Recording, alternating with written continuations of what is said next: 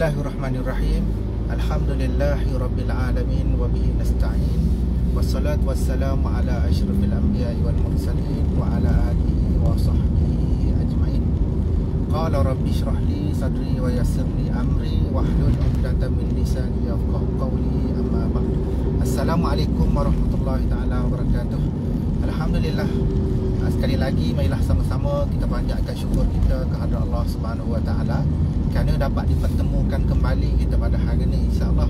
Mudah-mudahan kita semua berada dalam keadaan sihat, berada dalam uh, lindungan rahmat Allah Subhanahu Wa Taala dan yang terlebih penting adalah kita mendapat keberkatan daripada hasil kerja kita pada hari ini insya-Allah.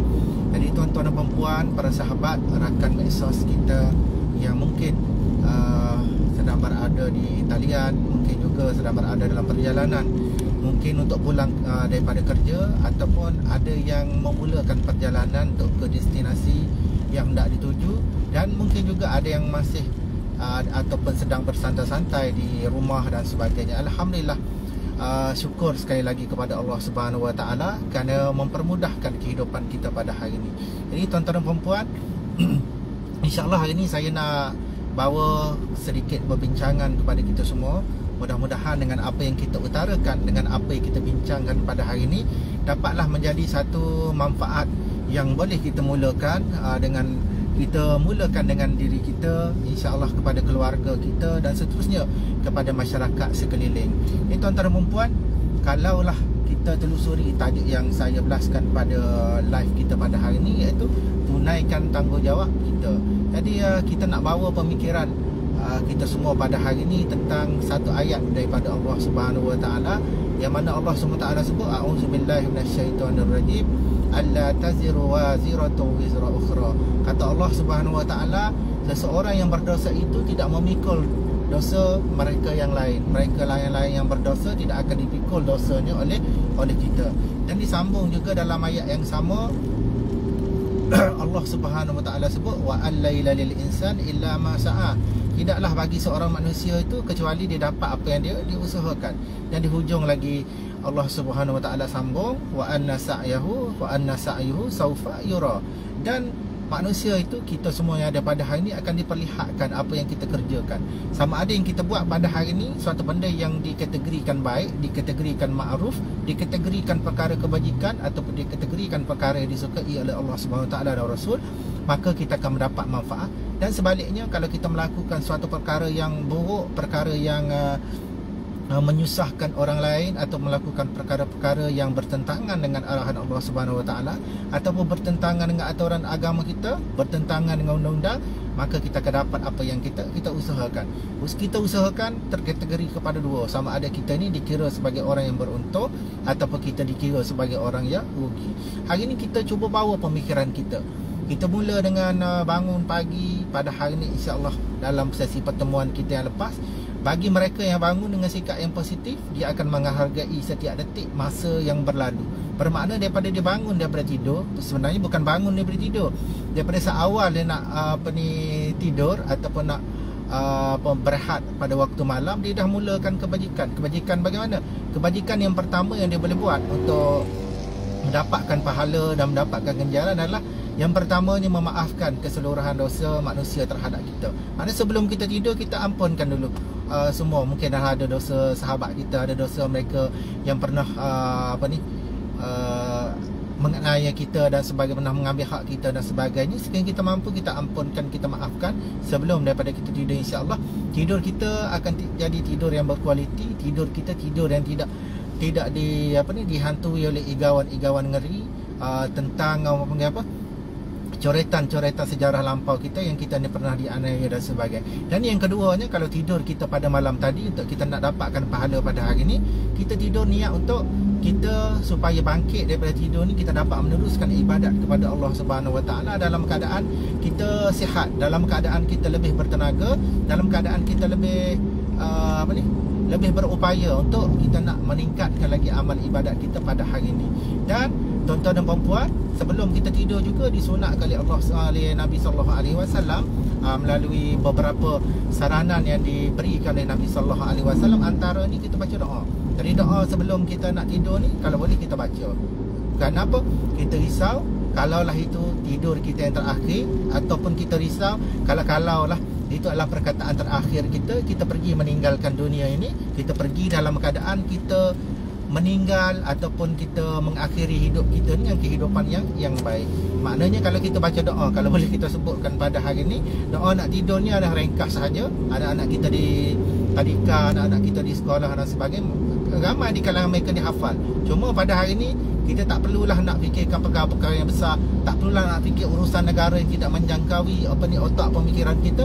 Tapi fikirkanlah, renungkanlah tentang nasib kita pada hari ini Mana kita langsaikan Peluang yang kita ada di dunia ni Kita gunakanlah sebaiknya untuk perkara-perkara kebajikan Tunaikan tanggungjawab kita Tak perlu kita persoalkan tanggungjawab orang lain. Kenapa? Tanggungjawab orang lain kita tidak pikul kesalahan mereka. Bagaimana ayat yang saya sebut tadi Allah SWT sebut Allah taziru wa ziratu izra ukhra. Kita tak pikul pun apa ni beban kesalahan orang lain. Dan tuan-tuan dan perempuan, itu kita bab kita nak memulakan kehidupan kita. Daripada malam kita mana selain daripada kita ampunkan kita maafkan keseluruhan kesalahan orang lain terhadap kita kita baca doa contohnya kita baca bismikallahumma ahya wa amut. Mana kita apa ni baca doa dengan nama Allah Subhanahu wa taala yang menghidupkan aku. Uh, bismikallahumma ahya wa amut. Dan juga mematikan aku dan kalau boleh malam tu kita akhiri perkataan kita yang terakhir dengan kalimah la ilaha illallah dengan harapan mudah-mudahan kalaulah Allah uh, menghantar malaikat untuk menjemput kita dalam kita tidur, kita sebenarnya jangan tidur uh, dengan kita akhiri kehidupan kita dengan la ilaha illallah. Sebagaimana disebut oleh Nabi sallallahu alaihi wasallam, man qala la ilaha illallah dakhala jannah. Siapa yang berkata, siapa yang sebut, siapa yang ungkapkan kata-kata la ilaha illallah dia akan uh, masuk ke ke syurga. Dan kita cerita itu yang malamnya. Banyaklah ibadat yang kita boleh lakukan dalam keadaan kita tidur. Tidur kita ni tidur yang ber, tidur yang dikira sebagai tidur uh, ibadah. Dan kita bangun daripada tidur kita mulakan hidup kita dengan positif. Yang mana yang kita selalu sebut kita mula bangun daripada tidur bagaimana sunnah Nabi sallallahu alaihi wasallam antaranya adalah baca doa juga. Bangun bangkit saja daripada tidur kita baca doa. Baca doa kenapa baca doa kerana kita alhamdulillah dibangkitkan dalam keadaan kita sedar dibangkitkan dalam keadaan kita masih lagi sihat.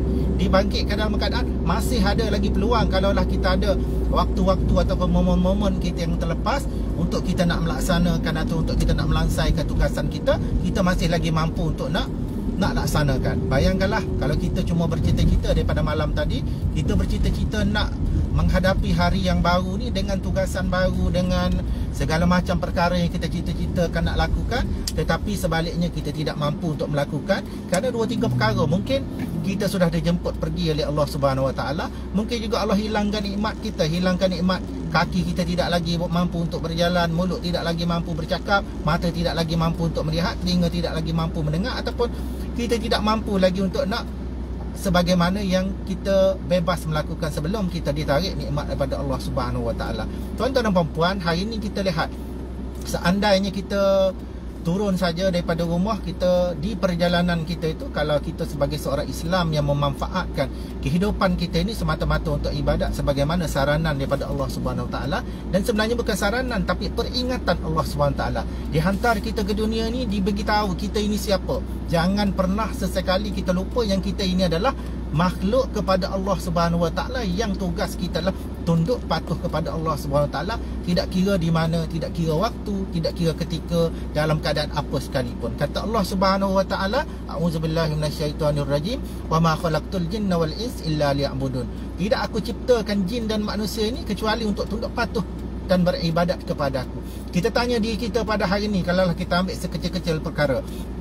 Kita memandu daripada rumah contohnya kita ada membawa bersama sisa-sisa buangan contoh macam kita kata kita beli sesuatu tiba-tiba ada uh, uh, sisa buangan yang berbentuk sampah. Kadang-kadang kita lihat ada manusia yang mengambil jalan mudah dia membuang uh, sampah daripada uh, daripada cermin kereta tanpa dia melihat adakah tindakan itu wajar tindakannya itu betul dan sebagainya. Maknanya kita membuang sampah bukan di tempat yang sepatutnya kita buang itu kira sangat tragis lah. Maknanya sampah kita tu dibiarkan. Yang menyebabkan mereka yang lain mengalami kesusahan. Menyebabkan kalaulah ada pekerja pembersihan pun kalau di jalan raya menyebabkan mereka ini terdedah dengan bahaya tempat seputik sampah kita. Bayangkanlah kalau sampah itu berbentuk satu benda yang besar. Contoh macam kita bawa bungkusan sampah kita letak di bonet kereta kita kita bawa dengan confidentnya. Mungkinlah kita dengan harapannya dapat sampai ke, ke tong sampahnya boleh kita buat. Tetapi ada juga yang terburai di tengah jalan jatuh lalu kita biarkan. Bayangkanlah motosikal yang bergerak dua tayar yang terdedah kepada mudah sangat tergelincir dan sebagainya terlanggar sampah kita mereka ni kemalangan. Cuba tanya diri kita adakah kita ni dikira seorang yang tidak langsung terlibat dengan kesusahan yang alami oleh rakan-rakan kita tadi dia mengalami kesusahan dia mengalami kesyarakat kalaulah kerana kita yang mulakan kita yang menjadi salah satu asbabnya maka kita menjawab di hadapan Allah SWT kita akan diper, dipertanggungjawabkan. Tuan-tuan dan puan-puan bila kita ke masjid sekarang ni kita tu uh, bila cerita tentang masjid ni kadang-kadang yang kita nampak pada gambaran kita lah semua fenomena hari Jumaat. Bermakna bagi orang yang tidak kaki masjid ni hanya masjid yang ada dalam kepalanya hari Jumaat. Hari-hari yang lain bukan dia tak pergi ke masjid dia cuma jadikan masjid ni sebagai tempat persinggahan. Malah saya mendapat laporan saya mendapat aduan saya mendapat banyak uh, apa ni keluhan daripada rakan-rakan di luar sana. Ada yang menjadikan masjid ni tempat buangan sampah. Maknanya sampah domestik. Kadang-kadang sampah ni majlis daerah dia tak hantar pekerja kutip dari rumah ke rumah. Mungkin kawasan itu kawasan yang kita panggil suburban atau kawasan kampung yang tidak dicukai. Bermakna uh, kalau kira sebenarnya tak tak layak pun untuk diadakan perkhidmatan kutip sampah dan sebagainya. Dan kalau ada pun biasa di lorong-lorong kecil ni maknanya kenderaan apa ni angkut sampah dan sebagainya memang tak masuk. Apa kalau di masjid ni memang ada yang masuk, ada yang ambil dan ada kalanya terpaksalah di apa ni diselesaikan urusan sampah ni oleh AJK Masjid. Jadi kita ambil kesempatan. Kenapa? Di masjid ni tu sampahnya besar. Bila tu sampahnya besar, kita pun ah, ala-ala kena jalan jauh, kena bawa dengan motor, kena bawa kereta, kotor kereta. Ah, kita buat lah. Tu sampah di masjid ada buat.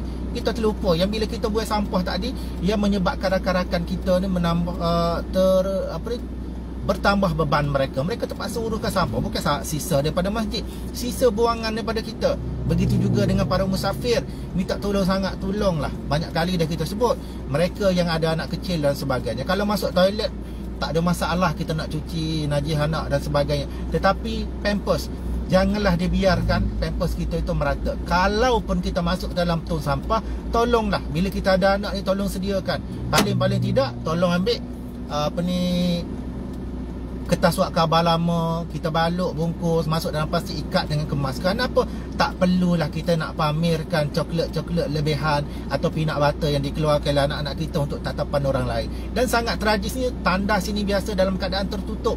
Bayangkanlah najis yang terdedah ini menyebabkan orang yang terpaksa hidu baunya tak? Dah lah nak hidu bau hok baru nak buat. Uh, hidu najis hok lama hok, hok terperak. Uh, hok terperak ni bau dia kalau kita kata ikan bekok ni uh, bau ni tak apalah bau-bau ikan bekok pun boleh makan ni bau-bau barang bekok barang-barang dalam dalam pampers uh, dengan sisa coklatnya peanut butternya. Dak suasana tengok pun kita dah rasa jijik apalagi terpaksa hidup bau. Jadi pada hari ini tidak perlulah kita nak menuding jari. Mungkin kita katakan inilah tanggungjawab masjid. Masjid adalah tempat persinggahan. AJK masjid kenalah selesaikan. Cuba tanya apa sumbangan kita pada masjid? Ada tak sesekali kita ke masjid Kita membersihkan kawasan masjid? Kadang-kadang kita ni merasa jijik. Jijik apa? Jijik kita nak gunakan tandas tapi terpaksa guna. Dalam hati kita kita katakan sebegini besar masjid tak ada kau nak mencuci. Sebelum kita nak tanya siapa yang nak mencuci tanyalah diri kita berapa kali yang kita ke masjid kita mencuci tandas masjid. Atau berapa kali kita ke masjid kita mencuci kolah masjid. Atau berapa kali kita ke masjid kita mencuci lantai masjid dan tempat wuduk yang kita kata licin dan sebagainya. Tuan-tuan dan puan itu baru cerita di masjid. Yang pertama sekali kita nak ingatkan kita ni daripada kecil seawal usia kita kita diajar pertama sekali dalam perkara fiqh dalam perkara fiqh ini adalah berkaitan dengan kebersihan. Sebab itulah kalau kita tengok dalam kitab-kitab berkaitan dengan uh, fiqh ini bab yang pertamanya adalah menceritakan tentang tentang taharah. Kalaulah itu yang Islam pentingkan itu yang ahli fiqh letakkan sebagai satu benda yang terpaksa apa ni yang perlu kita tumpukan jadikan satu agenda yang besar satu agenda yang utama kenapa kita bila dalam praktikal kita dalam uh, amalan kita seharian kita menjadikan taharah itu uh, apa ni aspek yang terkebelakang. Bermakna kita melihat uh, kebersihan itu adalah hak orang lain. Kebersihan itu adalah tanggungjawab orang lain. Bermakna hadis daripada Nabi sallallahu alaihi wasallam yang mengatakan an-nazafatu minal iman kebersihan itu sebagai uh, sebahagian daripada iman. Makna hadis ini tidak ditujukan kepada kita. Kalau hadis ini tidak ditujukan kepada kita hadis ini untuk siapa sebenarnya kita ini bukan umat Nabi Muhammad atau kita umat siapa sebenarnya? Adakah kita umat Fir'aun? Adakah kita hamba kepada syaitan dan sebagainya? Yang kita suatu hari nanti akan mencari Rasulullah wasallam, kita akan minta syafaat daripada Nabi wasallam. Mana mungkin kita nak minta syafaat daripada Nabi wasallam kalau atas dunia kehidupan kita atas dunia ni kita membelakangkan apa yang Nabi wasallam sarankan kepada kita dan kita melakukan apa yang Nabi wasallam larang kepada kita hari ini. Dan tuan-tuan dan puan-puan, dalam seharian kalau kita tengok banyak kita ni membuang masa. Membuang masa macam mana? Membuang masa semua perkara ni kalau boleh kita nak ambilkan sebagai satu apa ni satu uh, tajuk atau cerita yang perlu kita olahkan. Sehinggalah kita terlupa yang kita ini disuruh bercakap, disuruh hanya bercakap tentang suatu perkara yang kita tahu ataupun perkara yang kita yakini benar dan janganlah sesekali kita bercakap di luar kemampuan kita. Kenapa? Kerana itulah yang akan berlaku kepada masyarakat kita. Rosaknya masyarakat kita pada hari ini, kadang-kadang kita ni semata-mata nak menangkan idola kita. Misalnya ada idola kita yang mengatakan sesuatu benda yang pelik, jelek, yang pada pandangan umumnya, pandangan uh, ahli agamanya mengatakan bahawa ke, kenyataan itu tidak betul. Tapi kerana kita nak membela kerana kita nak menjustifikasikan apa yang di, diperkatakan oleh idola kita maka kita mereka-reka suatu benda yang yang kita nak menyokong dia. Okey? Kerana pada hari ini perkara paling utama ialah kita ambil lah apa ni panduan yang diberikan oleh Allah Subhanahu Wa Taala. Yang Allah sebut dalam uh, ayatnya auzubillahi minasyaitonirrajim wala taqfu ma laysa laka bihi ilm Inna sam'a wal basara wal fu'ada kullu ulaika kana anhu mas'ula. Kata Allah Subhanahu wa taala, jangan kamu berbicara, jangan kamu bercakap, jangan kamu ulas, jangan kamu komen suatu benda yang di luar pengetahuan kamu. Ha? Fima laisa laka bihi ilm. Apa ni wala taqfu ma laisa laka bihi ilm. Inna sam'a kata Allah Subhanahu wa taala sesungguhnya telinga. Telinga pendengaran kamu ini uh, inna sam'a wal basara mata dan penglihatan kamu ini wal fuada fuad ni mana hati. Hati ni satu benda yang kita boleh buat fikir kita boleh tahu baik dan buruk dan sebagainya. Kullu ulaika kana anhu mas'ula. Kata Nabi sallallahu alaihi kata Allah Subhanahu wa taala semua itu akan dipertanggungjawabkan di hadapan Allah Subhanahu wa taala. Nak mengelakkan daripada kita terbeban janganlah semua perkara kita masuk dalam kepala kita untuk kita nak ulas yang terpenting adalah kalau kita tidak yakin sesuatu benda itu benar, jangan sesekali kita share. Jangan sesekali kita masuk komen dan kalaupun perkara itu benar, sekiranya dalam keadaan manusia tengah gelisah, manusia tengah huru-hara dan sebagainya, dengan netizen yang tengah berperang dan sebagainya, tak perlu kita masuk ulas. Kenapa? Jangan kita menjadi fitnah kepada kepada agama. Yang kita risau pada hari ini adalah ulasan kita tadi bukan sekadar ulasan yang tidak cerdik. Selama ni kalau kita kata ada pernah uh, disebut oleh tuan-tuan guru katanya kita manusia ni kadang-kadang kecerdikan kita. Kecerdikan kita ni tidak diketahui oleh orang lain. Tetapi apabila kita bercakap orang akan tahu uh, sejauh mana kita cerdik atau tidak. Yang terlebih penting kita risau adalah bodoh kita contoh saya bukan kata siapa bodoh saya kata bodoh bodoh kita ni kan. Kadang-kadang orang tak nampak duduk dia dia bodoh. Tiba-tiba kita jual kat orang bodoh kita. Bukan setakat kita jual kat orang bodoh kita bodoh kita ni orang beli nama pakak-pakak nego bodoh kita. Dan kalau setakat bodoh saja kita nego tak ada masalah. Tapi bodoh kita tak di-share oleh orang lain dimanfaatkan oleh orang lain. Satu benda yang tak comel ditularkan diambil kesempatan oleh orang lain maka kita walaupun kita tidur walaupun ketika kita tidak berbuat apa-apa pun sebenarnya Allah datangkan Allah apa ni Allah datangkan malaikat mencatat uh, catatan yang buruk bagi kita kenapa kita yang memulakan kita yang mengajar kita yang menyebarkan perkara-perkara buruk yang di-share ditularkan oleh orang orang lain jadi sama-samalah kita ambil peringatan supaya Pertamanya tak perlulah kita ulas suatu benda yang di luar jangkauan kita. Suatu benda yang tidak kita mampu untuk nak fikir tak perlu kita nak ulas. Yang baik adalah suatu benda yang ringkas-ringkas yang biasa-biasa, apa yang mampu kita buat kita buat. Hari ni cuba tanya diri kita, ada tak kita mulakan hari kita dengan senyuman? Dekat itu disuruh oleh Nabi sallallahu alaihi wasallam. Nabi kata, "Wa tabassumuka fi wajhi akhika sadaqah." Dan senyum yang kamu ukirkan yang kamu duduk, senyum kepada saudara mu ni uh, Nabi sallallahu alaihi wasallam kata adalah merupakan sedekah benda simple tapi jarang nak buat kenapa nak pergi cerita benda-benda yang berat yang tak tak mampu kita nak buat sedangkan sedekah yang paling mudah adalah senyum pun kita tak mampu nak buat. Tanya diri kita pada hari ini adakah kita hari ini bangun daripada tidur ni kita ada baca doa atau tidak? Adakah dengan baca doa tadi kita menyebabkan orang memuk, uh, apa yang kita di dipukul orang dan semuanya tak ada itu dalam rumah kita. Kita baca doa baca gilah dan kita pula tak perlu nak ajak orang. Kalau lah kerana kita kata eh nak ajak orang malu kata oh, nampak sangat alim. Maksud sikit doa sikit doa. Baca untuk diri kita kita fikirlah sebagaimana yang disebut tadi kita tak menanggung pada dosa orang lain. Ikut dia lah. Kita royak dia nak buat dia buat. Tak sebuat tu salah dia lah. Janji dia mulut tolong royak. Tak mampu kita tegur kita tegur. Tak mampu kita duduk dia dia kenapa? Itu adalah tahap yang diberi oleh Nabi sallallahu alaihi wasallam. Nabi tahu kemampuan kita. Kalau tidak kat nyaya laki tu semua benda kita nampak kena ambil buah lepas tu. Ada bagaimana Perdana Menteri itu memikir. Seluruh Malaysia ni. Apa cerita? Cerita berlaku di Labuan kita gagal tak nak nak tidur. Kita berlaku di kota baru masuk lepas lalu kita nak mi kita oleh siapa kena stroke. Allah tak suruh pasal pagi tu tapi Allah apa dia hok mampu buat ni tolong buat. Ada. Kadang-kadang kita ni hok kita mampu nak buat sekecil-kecil perkara pun tak jadi kau nak buat. Orang tanya buat apa? Hmm, tak lupa nak buat. Orang tanya bila nak buat anatilah dulu. Kau tanya bila nak buat tunggu pecing, tunggu pecing baru nak tarik tangga masjid dan sebagainya, tunggu tunggu pecing baru nak belajar alif bata, tunggu pecing baru nak nak betul Fatihah dan sebagainya, tunggu pecing baru nak belajar-belajar lagu mana semaya betul dan sebagainya, tunggu pecing baru nak lansar kita tengok utai-utai kita dengar Allah SWT zakat kau gapo kau baru-baru nak belajar, baru-baru nak nak tebus. Jadi kita bimbang takut terlambat. Bila kita terlambat, kalau setakat terlambat saja tak apa. Bimbang-bimbangnya pakai dengan tak ada dengan gitu. Ha, tahu-tahu orang panggil. Orang sebut dah. Hmm, gida mulah ni. Tak. Ha, masa muda hari tu. Ha, orang sebut gitu. Orang sebut gini. Bila orang sebut mulah ni. Ingat tak sah. Lah kita nak cagai yang kita ni ada lagi peluang. Bila kita nak jadi mulah ni. Timalah kenyataan. Segala amalan kita dah tertutup. Sebab tu lah kita minta dengan Allah SWT. Minta lah ke mana? Sama-sama kita minta yang diajar doa oleh Nabi sallallahu alaihi wasallam kita sebut Allahumma khtim lana bi husnil khatimah wa la taqtim alaina bi su'il khatimah. Ya Allah ya Tuhanku ya Allah ya Tuhan kami akhirikan akhirilah kehidupan kami ni. Tolonglah kalau aku mati nak mati dalam keadaan mati yang baik. Kalau pergi jumpa mung pun jumpa dalam keadaan yang baik. Kalau mereka mari nak ambil pun dalam keadaan aku ni pergi dengan baik. Wala taqtim alaina bi su'il khatimah. Jangan kamu akhiri janganlah mati kami semua ni dalam keadaan yang buruk waktu kita bimbang. Kenapa kerana atas dunia ni satu-satunya peluang kita nak buat baik Kenapa? Nak guna ni esok. Atas dunia ni lah kita nak mencari bekalan Sebagaimana disebut apa ni? Fatazawwadu fa inna khairaz zadi taqwa. Berbekallah kamu cari bekal banyak. Kenapa fa inna khairaz zadi at-taqwa. Sebaik-baik bekalanlah takwa dan apa maksud takwa takwa ni adalah cara mudahnya laksanakan apa yang disuruh oleh Allah SWT dan rasulnya.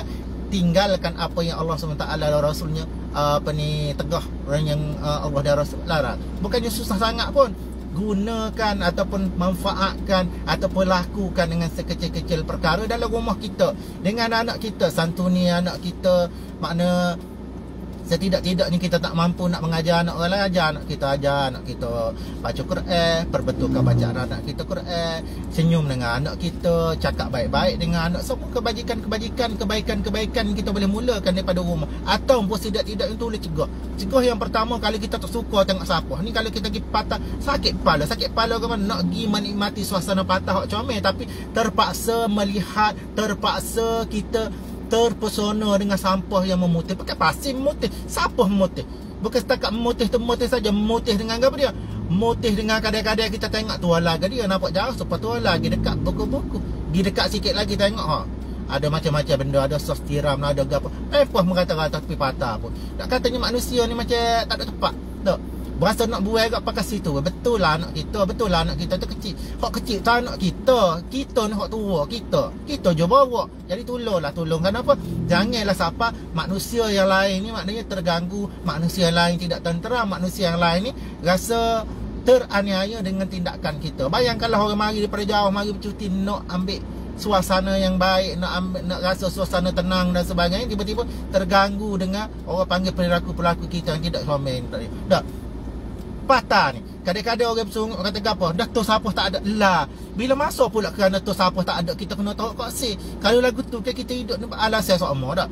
Jangan kita nak jadi macam orang dulu-dulu. Orang dulu-dulu ni Tak ada arah lah rumah dia jauh-jauh. Pasal orang dulu-dulu ni dia pekong kot nelo Eh, walaupun kita kata pekong kot nelo Kalau kita tanya lah mak-mak ayah kita dulu Dia pekong kot nelo oh, Bukan pekong pakai adat dia gitu. Dia pekong pagi, pekong, pekong, pekong Tengok dalam tengah hari ke apa Dia nyapu nyapu-nyapu-nyapu longgok setepak tapi pesek kita ni pekong orang lain je sapu. Pekong orang lain je kutik. Pekong orang lain je kena getah atas kesalahan kita. Tak kita kita bimbang tanya diri kita balik. Adakah kita telah melaksanakan tanggungjawab kita?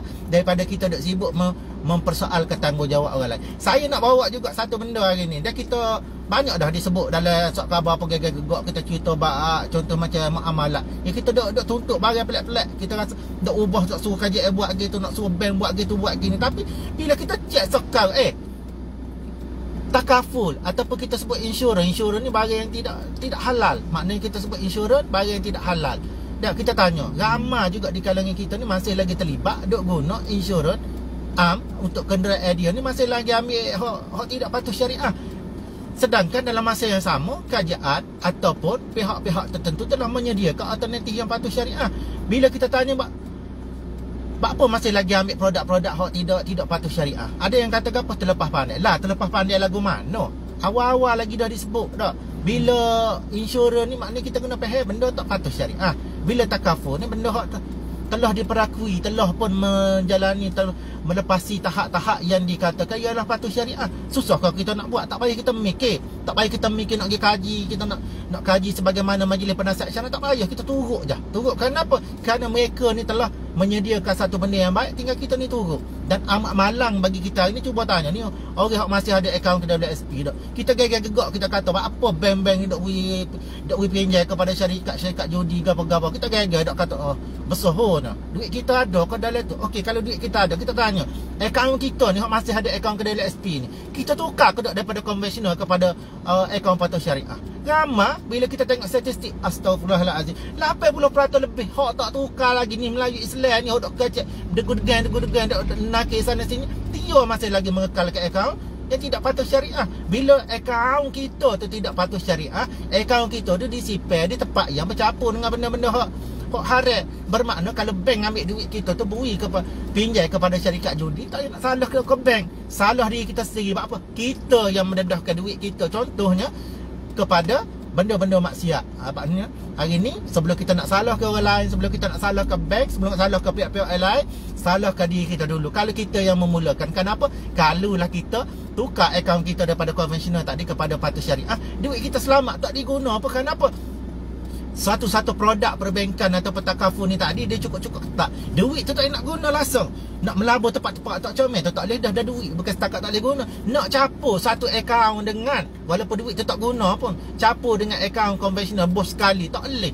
Mana akaun syariah dia kena suku. Akaun konvensional ni kena suku tak boleh capur sekali. Begitu sekali maknanya uh, telitinya pihak yang menyediakan nak bagi supaya kita ni menikmati kehidupan kita dalam keadaan kita tidak berperang dengan Allah Subhanahu Wa Taala. Kenapa? Orang terlibat dengan riba, terlibat dengan perkara judi, mais uh, dan sebagainya sebenarnya dia mengisytiharkan perang kepada Allah Subhanahu Wa Taala. Kalau kita hari ni kita tengok tak dalam banyak-banyak makhluk atas dunia ni Cik B, Cik B ni kan? Cik B. Kenal tak Cik B? Bukan Cik B Datuk Sri dah. Cik B, Cik B hok hok hak perut labuh. Kalau hak orang pera di sebelah hilir ni warna putih perut labuh. Kalau hak dalam hutan tu hak warna ada orang cik B cik B ni kalau kita tengok cukup-cukup jijik. Kalau cik B tu ada dalam kepala kita cik B ni lah satu benda malah petaka kalau kita kata tepuh dengan cik B pun satu benda yang kita rasa berat. Ataupun uh, kita ceritalah kalau kata apa-apa produk bila dikait dengan Cik B ni kita rasa nak termuntah padahal belum tentu pun ada benda-benda lagu tapi nak persepsi, persepsi kita. Tapi benda berkaitan dengan riba benda berkaitan dengan pematuhan syariah dalam sistem urusan kita seharian kita panggil muamalah ni banyak kita tidak alert kita terlibat. Tak kita terlibat dengan barang-barang riba dan sebagainya. Kadang-kadang kita ni tak bila benda ni untung kita, kita rasa benda tu patuh syariah. Bila kita rasa kita terbeban rugi sikit, kita mulalah gagal kata, hmm, bagi tipu tu belaka syariah ke apa. Nama lagu ni. Tak. Sopo je. Ni, aku pergi pinjam PT dengan bank nak pinjam untuk rumah. Pinjam RM60,000, bayar klik RM120,000 ni. Kok syariah pun sopo juga. Kita terlupa. Eh, Kak, Abel. Kita pergi ke bank, perbaikan Islam. Cuba kita tanya bank. Kita sebenarnya bank tahu kita pinjam mereka ke beria urusan bank. Sedangkan Allah SWT sebut ni kita ingat dia Allah sebut bukan bank sebut bukan siapa-siapa sebut kita hidup atas dunia ni nak mendapat rahmat daripada Allah SWT hidup atas dunia nak luluh luluh luluh kehidupan kita. Balik jumpa Allah SWT Allah raik lepas kita. Salah satunya apa dia Allah sebut? A'udzubillahi minasyaitonirrajim. Wa ahallallahu al-bai'a wa harrama riba. Allah menghalalkan jual beli dan Allah haramkan riba. Apa kita nak pukul rata semua benda kita nak kata riba?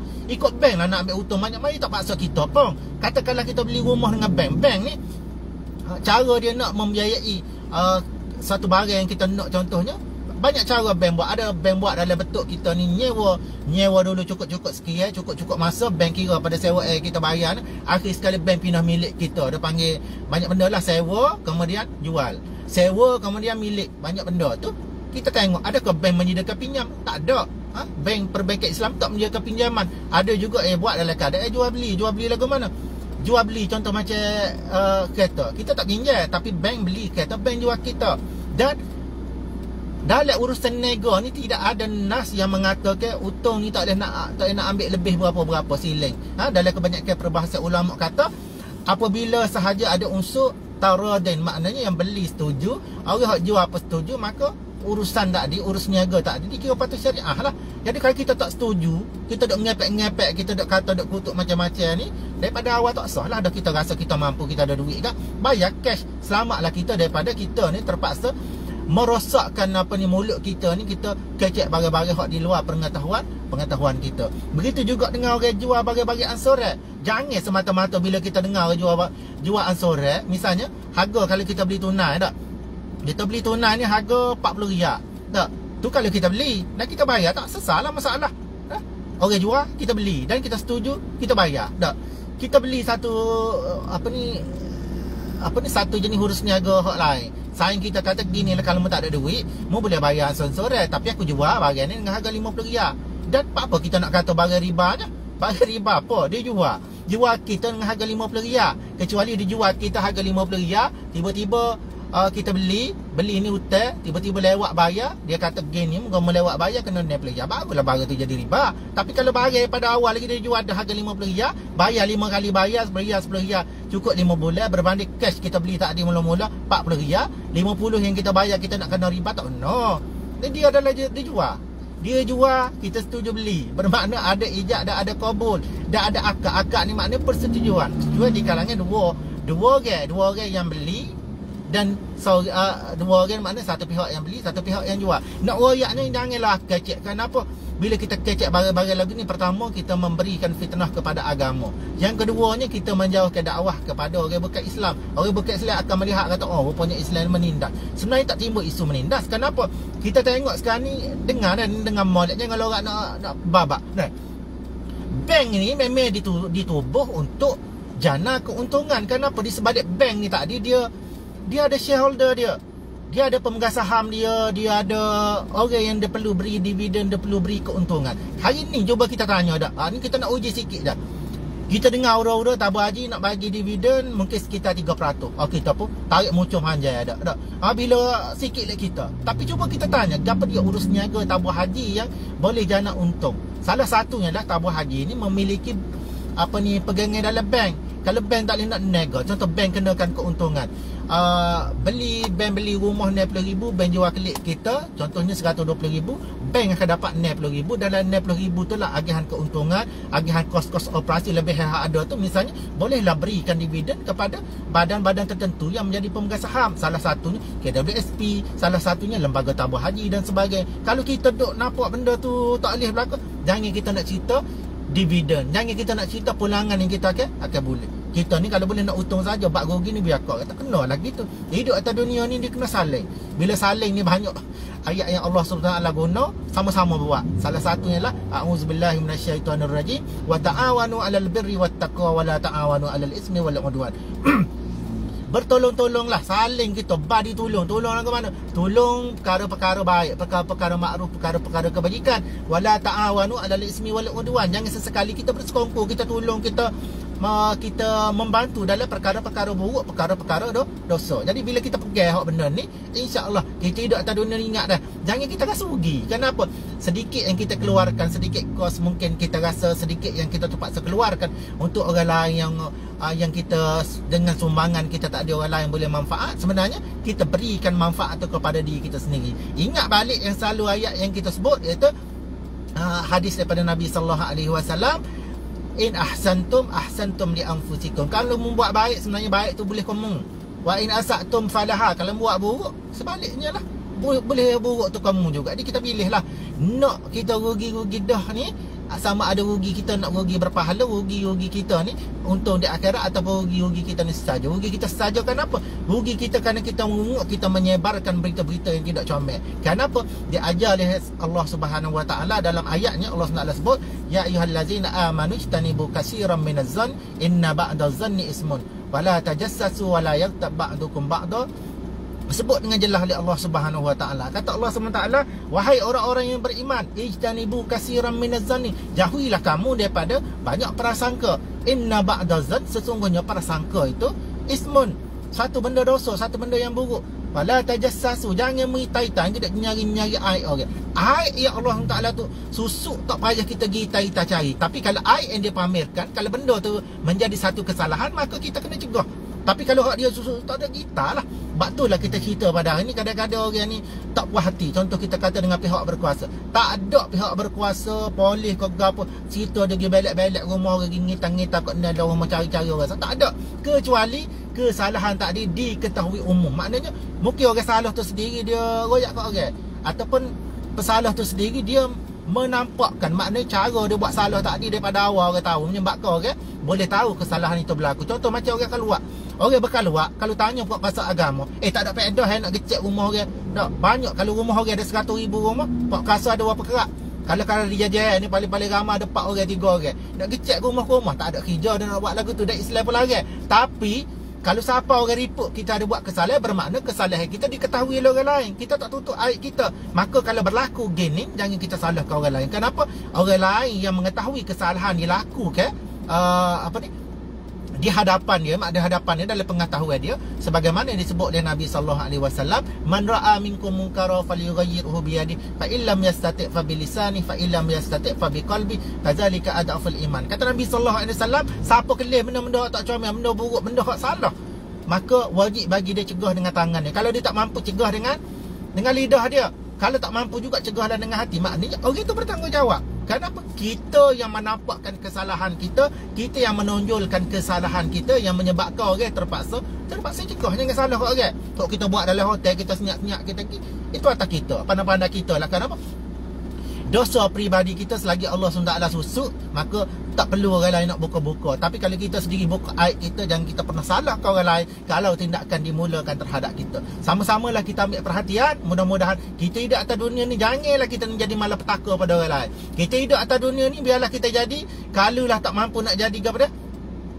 Tak mampu nak jadi gagal dah tak mampu nak jadi gagal apa panggil apa dia boleh boleh awetkan apa dia awetkan makanan boleh menyebabkan makanan tu tahan lama sebagainya. Janganlah kita jadi lalak yang menyebabkan punuh habis punuh habis makanan. Gepeng di apa di air siapa punuh air peng di ke peng peng. Peng kau peng tu apa dia? Peng bahasa Kelantan ni peng maknanya gidik hingga hingga dua-dua kaki dia menyebabkan punuh jangan. Tak mampu nak jadi gagal jangan jadi lalak. Duk dia dia lah kalau tak mampu duk dia dia. Kenapa? Dia ajar oleh Nabi sallallahu alaihi wasallam kata mampu buat lagu mana?